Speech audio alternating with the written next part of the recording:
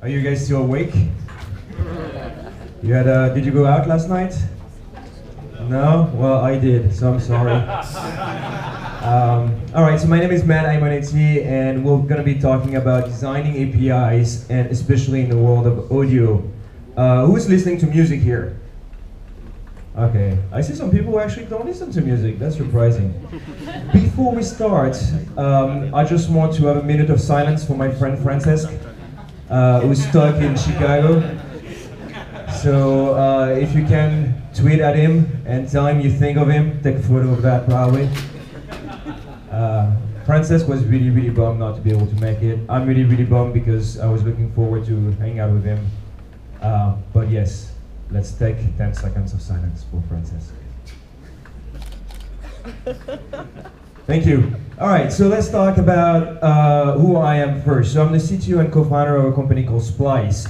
And at Splice, uh, we basically reinvented Git, GitHub, and Spotify, but for music producers. So what that means is we created version control for music, so musicians who work on their computers can uh, save their project and they get a full tree, they get version control, they can add collaborators, they can release the project publicly, uh, you get big names releasing tracks, and then you can actually open it in the audio software they use and see how that was being done, and you can have multiple versions. There's also a marketplace where you can buy samples and loops. Most of you probably don't care, but if you love music, and if you have any questions, you can tweet at me later on or come and see me. Uh, and my Twitter handle, I didn't put it in the right slide, is MattTT. All right, uh, why do I care about music and why did I start this company? Well, the first thing is I started as a sound engineer. I was a sound engineer a long time ago, and I moved into programming and then went back to the world of music. And today, most music is being produced on computers.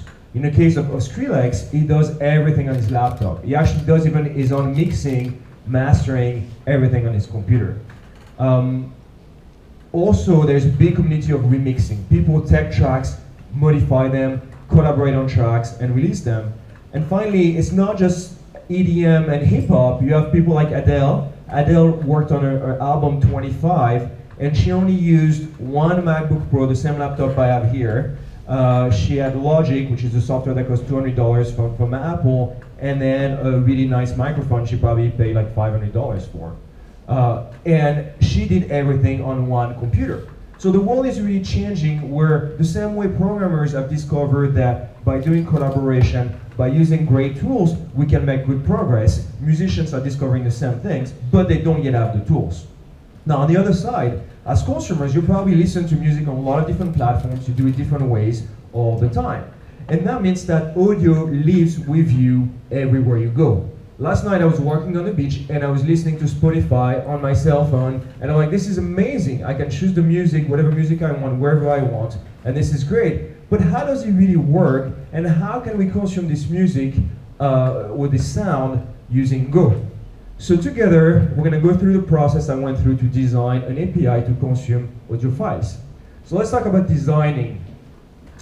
Designing an API is not simply thinking about what you want to build. When you look at the definition in the Oxford English Dictionary, designing means to, for, uh, to form a plan to arrange or conceive in the mind for letter execution. Execution is part of design. You cannot just think about something and that's design. Design needs to go through implementation, and implementation needs to go through interaction, and interaction will probably feed back into new ideas that will go back into implementation, and that's a long cycle. It's not as simple as let me think about something and let me, let me just get it done uh, really quickly. So how does it work? We need to talk about audio basics uh, and audio signal. Who knows about audio signal processing? Do we have any people knowing? Wow, that's way more than I expected. Uh, this is actually not as, it's pretty simple, but let me explain quickly. As I'm speaking, I'm pushing air into the microphone. So there's pressure coming through a membrane, and the membrane is being converted by the microphone into a voltage. And the voltage is going through an analog to digital converter, and that will go in digital and it will become ones and zeros and it might get processed, there might be EQ, there might be something coming up. And then the audio might come out back into digital to analog and then to a speaker. Now, really what it means to do the analog to digital conversion is that we have this signal, so that's uh, a voltage that keeps on going. So you have a continuous signal, and we need to convert it into what's called a discrete signal, which we need to we need to sample. In digital form, we don't have a continuous signal. We we have to represent these things by numbers, and we need to have these dots. So these dots look like that. You have the voltage that come in, and we need to sample, meaning we need to take one value at a time as often as we need. Now the resolution of the sample means um, what is the data type I'm going to use to define the amplitude of my volume or my the amplitude of the signal. So if you look at it, you can see it's getting louder, less loud, louder, less loud. We need to be able to define the, this loudness, this amplitude, and we're going to give it a number. And this number will be defined by the way, uh, the, what we call the bit depth. So it could be 8 bits, 16 bits, 34 bits, whatever. Um, the frequency in which we sample, so how often do we actually take a value is called the sample rate. And that's very important because if we don't sample fast enough, we might not get the right resolution. I'm not going to go into the boring technical details. I could talk for hours about that. But if you listen to a CD, we have a resolution of a sample rate of 44,000 and uh, 4,400 hertz, which means that 44,100 times a second, we took a value of the analog signal and we kept that value.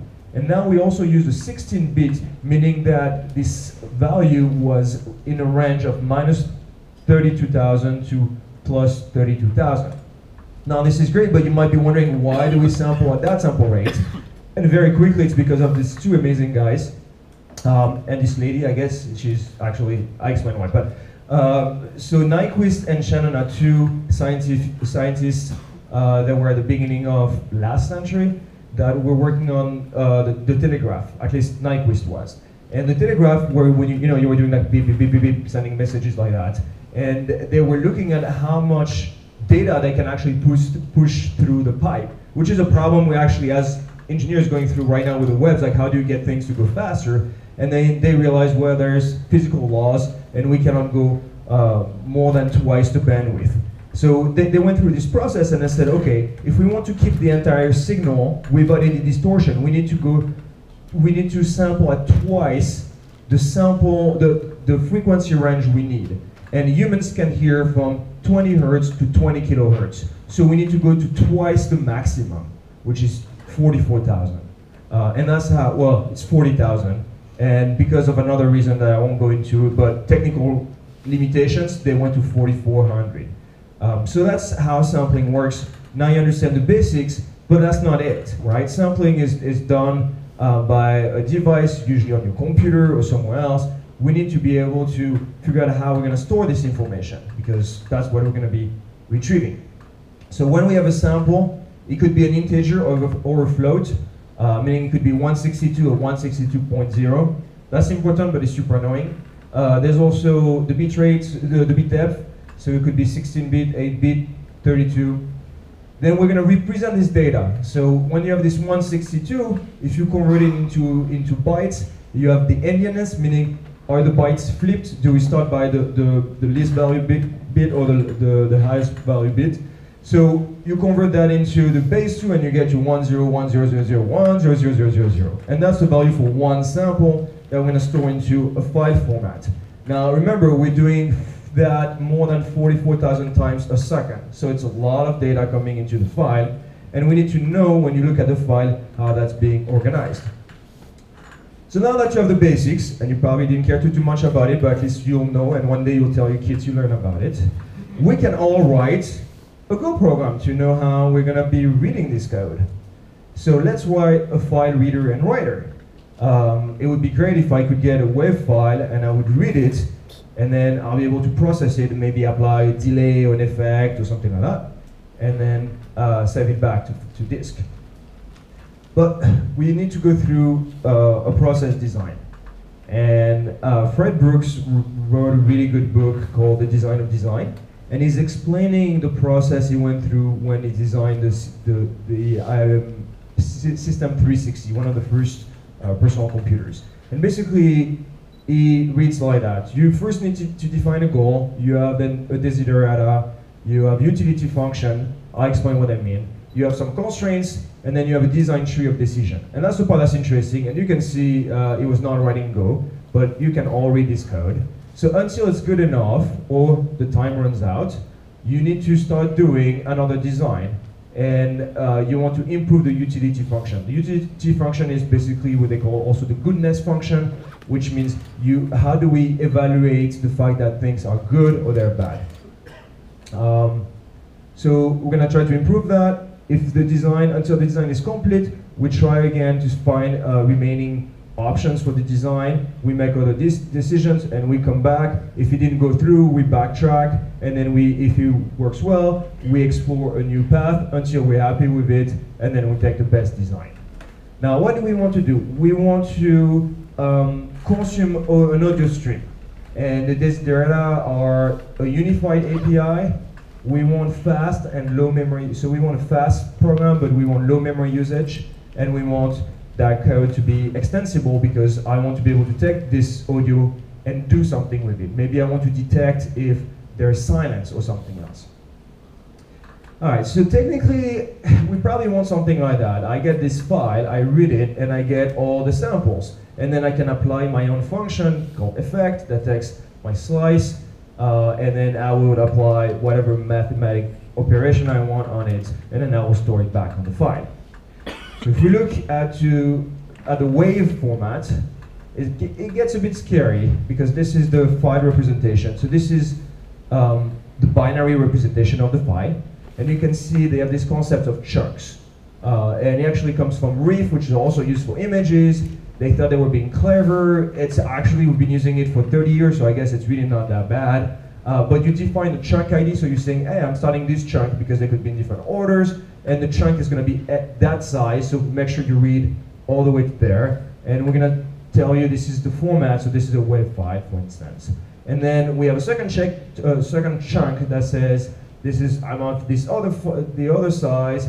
Uh, this audio format is that uh, we have X amount of channels, the sample rate, the byte rate, which um, means something else we don't need to care about. We have some block align, bits per sample. And then finally, we get to what's called the PCM data, which is all the values we cared about this uh, value that were being sampled to all the red dots we had at the beginning.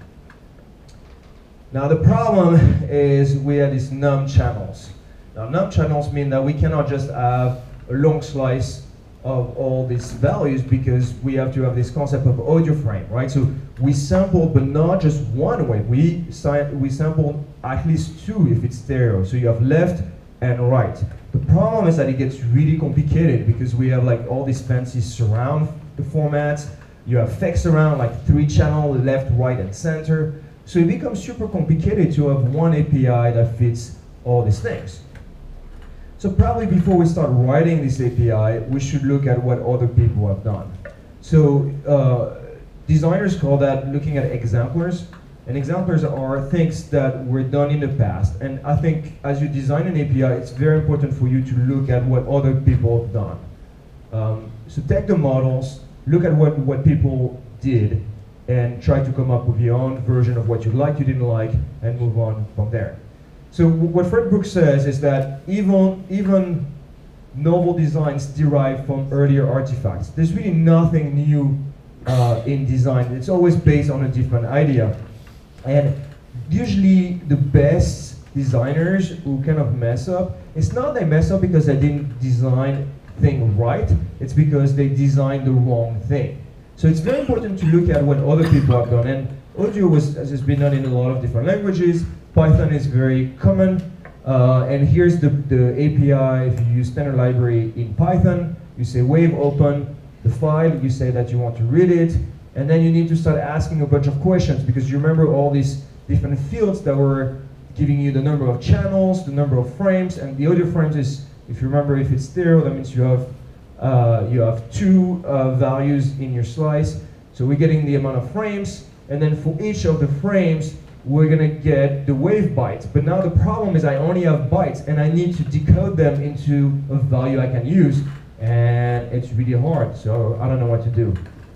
Also small comments, uh, you should totally put emojis in all your code comments. It's really more fun when you debug and then you see them coming. Go supports that very well, so please add emojis.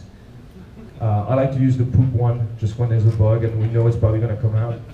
Um, it makes you smile like, oh, you're, you're, super upset there's a bug, but at least you're like a poop emoji. It makes you feel good. Uh, this is SciPy in Python. Uh, the API is different. It looks easier, um, but I could not get it to work well, and I'm not really good, uh, Francesc is better at Python than me, but here you, you're reading a file and then you can loop through them, and then the problem is I don't know how you, how you know how many channels you have. So that's a very common issue. It's like, well, you can get this thing, and I will get a, I'll get a bunch of bytes, but I actually don't. I'll get the value. So here I actually get an int, but I just don't know what I do for the second channel. So here I put zero because I know there's at least one channel. But what if I have more channels? Uh, and I was looking, and people on on different forums were saying, well, you should use this guy plus this guy, and I'm like, wow, that's not really great. Um, data formats are hard because I could have my samples in 8, 16, 24, 32, 64-bit integers. They could be signed or not, meaning that they could be between 0 and 64,000 or be between minus 32 to plus 32. Uh, they could also be floats or they could be bytes. And really, it makes designing the API extremely, really hard. So I looked at C. Uh, that's a library we actually use at work. Uh, and C works quite well. The problem is you need to have eight functions. And I'm not going to go into the description of what it does, but basically you can tell by the fact that some are called read short and the other one is called that we're reading float or we're reading integer and then we're gonna read that into uh, a pointer of short in float or double. And you can see when you have a you have a developer who just wants to read a, audio file and they have to figure out which of these eight functions they need to read, it's not really great, even though it works well. So to summarize, the API design constraints that we have. One is the sample rate can change very frequently. The bit depth can change. The literal type, so are we setting ints, unsigned ints, float bytes, uh, will also be different. We can have multiple channel value. It could be from one channel to eight or more. We also have a different encapsulation. So what I show you about the wave format being a certain way, if you were doing an AIF file, the, the encapsulation is actually different. Um, we also might need to process things in a different format than what we get. So let's say we're getting a file that's an int, uh, that has a bunch of ints, but we want to do math and we want to do them in float, we'll need to do the conversion of this thing. And finally, uh, we're going to want to use this content in different contexts. It could be just for playback on hardware. You might want to just gather the information to know the duration of an audio file. You might want to convert them, manipulate, do analysis. So um, I was working on this project, and uh, Jaana from the Go team was also thinking about what to do for Go Mobile. She's like, we really want to do playback. There's hardware built in into it. We should have an API. I'm like, oh, that's amazing. I've also been working on that because I want to do audio processing. So we came together, and then we realized these challenges were actually really hard to solve.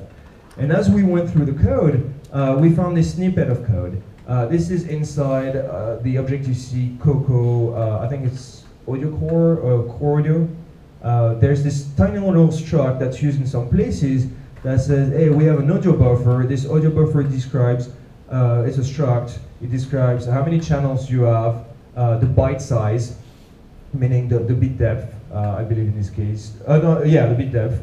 And then you have this nice hack in C, which is a void star. You can put any data you want. It doesn't really matter. We'll know how to retrieve it from the outside. Now, this is not exactly what we wanted to do, but I really like the idea of saying, like, why don't we use just a buffer, and instead of thinking about decoders and encoders, we don't we focus on the buffer. And kind of the design idea is like, okay, let's focus on let's forget about the encoder and the decoder for now. Let's let's write them the way we, we know how to do it. And in her case, uh, she cared about doing byte output to the hardware. In my case, I wanted to go back to a file. So like, let's forget about this thing. Let's get it into an audio buffer and let's interact with this audio buffer so everybody can interact with it. And then we could do things like that, where you could read or write from a buffer, it doesn't really matter. This is this one entity that we share, and then we would write different processors. So we could chain uh, way of writing uh, processors and analyzers and all these things. And instead of having an interface for the decoder and the encoder, let's have this one struct that will be the buffer that we will share around.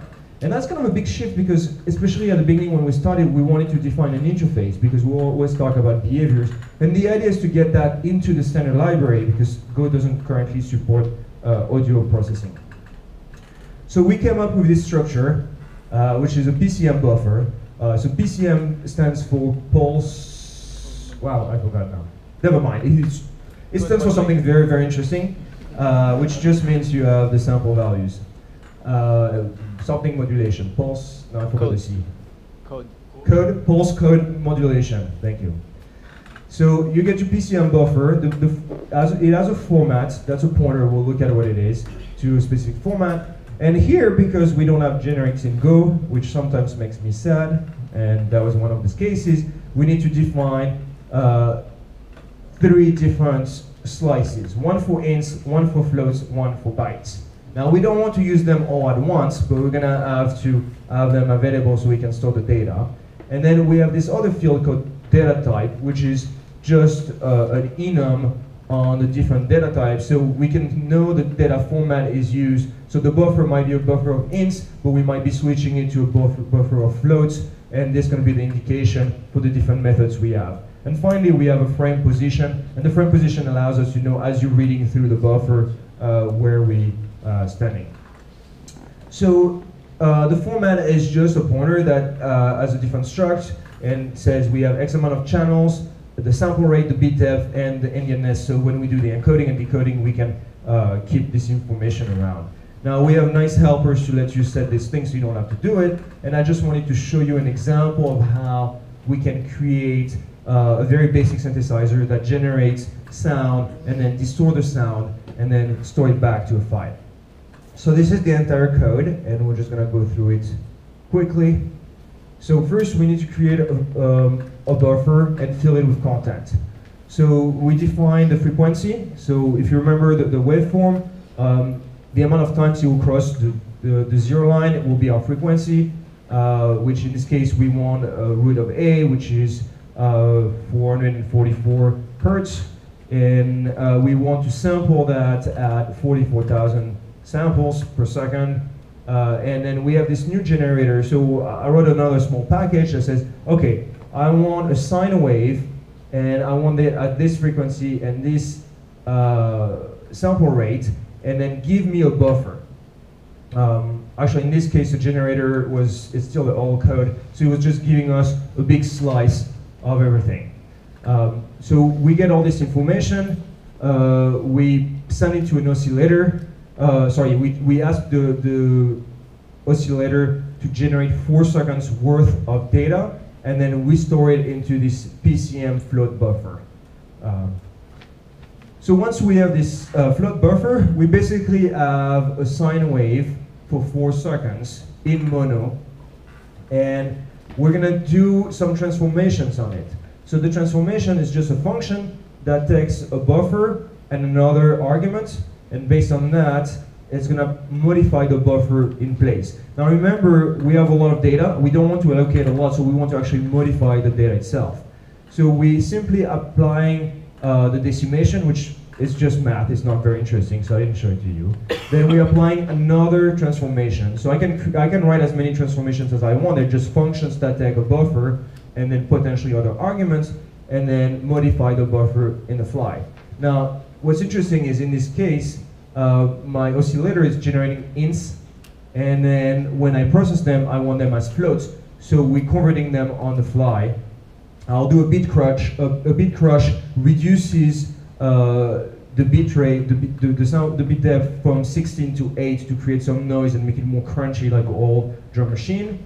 Um, and then I will resample back to the frequency range uh, so we don't lose, um, we don't basically time stretch it. And then finally, to save it, we just need to create an, an audio file.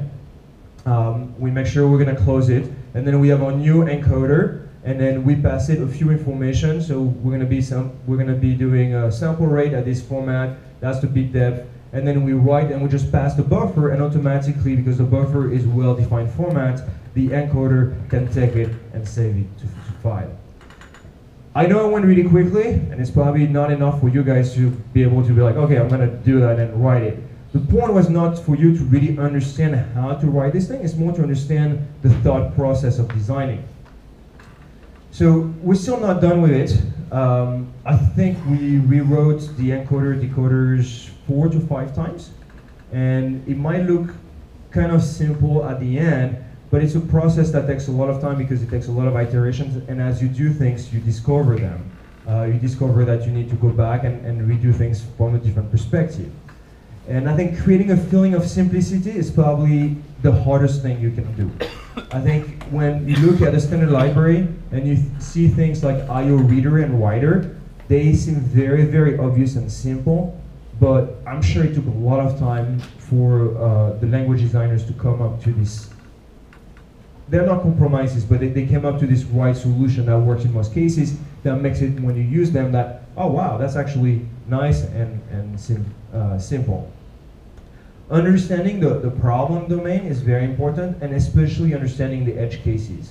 Because edge cases are usually what will, will help you refine um, your APIs. Because you can design for the obvious case and it looks very simple, and often when you take a library from someone else, like, oh wow, they, they really forgot about this, this, and that. And maybe then they did not. It's just that it's going to affect the design. And I think really thinking about it makes a lot of sense. In some cases, you should be able to say, you know what, this edge case, I don't care about it. It's not going to be supported in this API. But it's very important to be explicit about it. Um, another thing that I saw a lot of people do, and I used to not, I used to not be really good at that, is making sure you spend the time to research what other people did before you. I think it's, it's a bit arrogant to come in and be like, oh, I can do better than all these people, and I'm just going to rewrite this testing framework. I mean, we saw, I don't know, 15 of them earlier, and I'm sure they all have pros and cons, but it's very important that before you start doing your own thing, make sure you look at what other people did and why they did it a certain way, even though you disagree. Finally, if you can, I would recommend to keep the scope very small and iterate.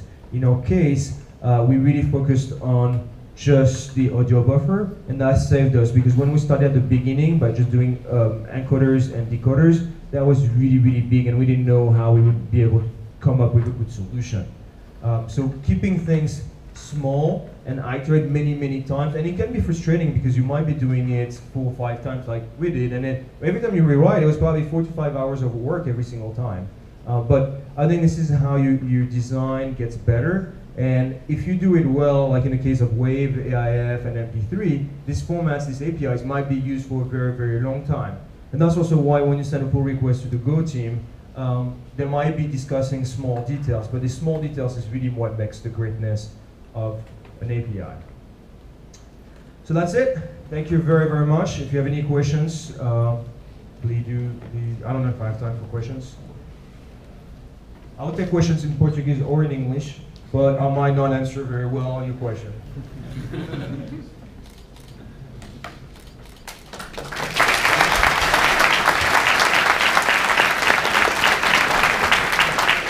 E aí, pessoal, alguma pergunta para o Matt? Come on, just, just pretend. Just come up. with a question. okay. Uh, tell me, I was. That's the reason I took time to get here because I was thinking, I was in back, I was thinking, um, so for instance, when I transform a WAV file to MP3 file, so I, I'm doing a resample, right? So for instance, I could build something like that, trans transforming, right? Using uh, maybe create an API in a... No. No. So when you when you're doing a wave to MP3, you actually do uh, lossy compression. So it's ah, slightly different. So the way it works is it uses psychoacoustic. So psychoacoustic means that as human beings, we hear different frequencies at a different range. So we take a wave file, and let's say a wave file is about, let, us pretend it's 10 megs per second, which is not, but let's pretend it's 10 megs per second. If you have a, a four minute song, it takes a lot of room. If you want to stream it on the web, it takes too much data because we have all these samples. And MP3 will take this file and apply psychoacoustic and say, you know what, people don't really hear these frequencies as much, and this frequency is gonna mask this other frequency. So they will then compress this information, kind of like zip, if you will, and then we'll make it so um, you can have less information in the file, and then it comes out. But when you go through the digital to analog conversion, it's the same signal that comes out.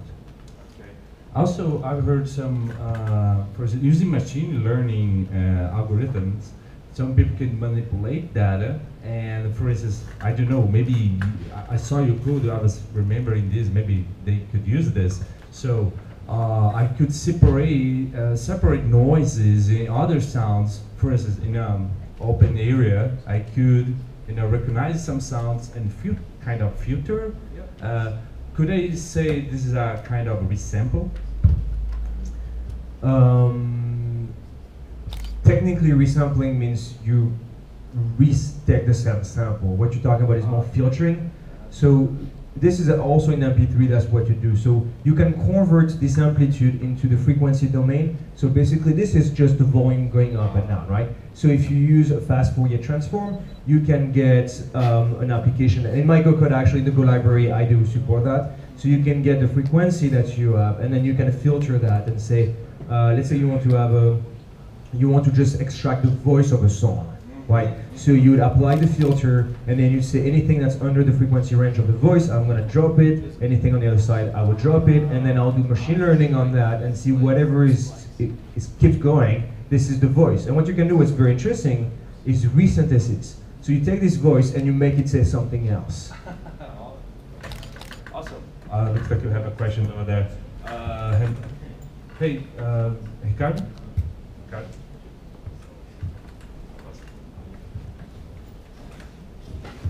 Hello, uh, nice, nice talk, by the way. Uh, I can use the, the same technique with uh, telecommunications, VoIP, and codecs, like this stuff. Yes, absolutely. That's exactly the same. Uh, there are slightly different formats depending on what you use, uh, but it's exactly the same thing. I also didn't mention, but all this code is open source on my GitHub. Uh, I should have mentioned that. There's also support for MIDI and a bunch of other formats. So. Okay, Matt, thank you very much.